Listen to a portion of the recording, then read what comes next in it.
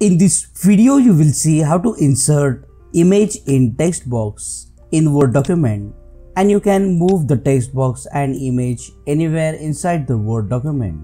First go to the insert tab then click on pictures.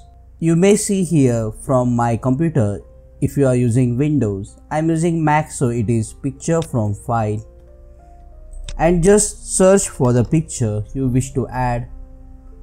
After inserting the picture, resize the picture. Now go to the insert tab and click on text box and draw the text box of the size you want. Now the trick to insert image in text box is just click on the image, press Ctrl X to cut the image, double click inside the text box and now paste the image inside the text box.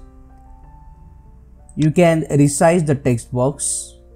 However, notice that this text box with the image is not transparent. So if you want it to be transparent, go to the format shape option here. Under the field, select the option no field. So this will make text box transparent. Click on that like button, comment below and let me know if this video solved your problem. And don't forget to check out these useful videos related to images or pictures in Word. See you again in the next one.